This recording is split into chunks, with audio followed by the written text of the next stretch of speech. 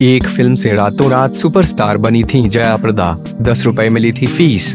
हाल ही में एक प्रेस जया प्रदा अपने बारे में चौंकाने वाला खुलासा करने के बाद ज़बरदस्त सुर्खियों में आ गई। उन्होंने बताया है कि 10 साल पहले उनकी अश्लील तस्वीरें लीक होने के बाद वे इतनी टूट गई थीं कि आत्महत्या करना चाहती थीं। ये सुनने के बाद हर कोई हैरान है। जया की निजी लाइफ के बारे में बात करें तो ये किसी फ़िल्म की कहानी से कम नहीं लगती। जया प्रदायक ट्रेस नहीं बल्कि डॉक्टर बनने के सपने देखती थी, लेकिन किस्मत को कुछ और ही मंजूर था। सात साल की उम्र में जया की माँ ने उन्हें पढ़ाई के साथ साथ डांस और म्यूज़िक क्लास में भर्ती कर दिया था। यहाँ से उनके बॉलीवुड तक के सफ़र की शुरुआत हुई थी। चौदह साल की उम्र में स्टेज पर शानदार डांस करते जया को कैरेक्टर एक्टर प्रभाकर रेड्डी ने देखा था। उन्होंने उन्नीस सौ छिहत्तर में आई फ़िल्म भूमि कोसम में जया को तीन मिनट के एक गाने के लिए फ़ौरन साइन कर लिया था। इस फ़िल्म के लिए उन्हें फ़ीस के तौर पर दस रुपए मिले थे।